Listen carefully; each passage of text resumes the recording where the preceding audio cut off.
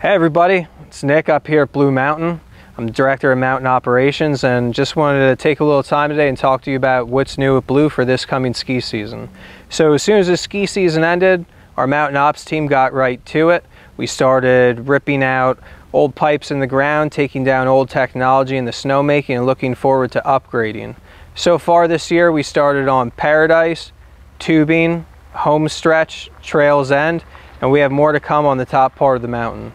So in all, the project encompasses 76 new stick guns from Techno Alpin and 26 brand new fans like the one standing right here behind me.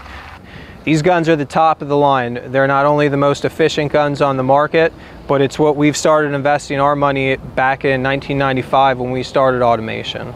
Um, what that's going to mean for you, it's going to be a better snow quality. We're going to have more terrain open sooner. A similar plan like we did last year, we'll be opening not only the west side of the resort, but also the east side and then linking the two together.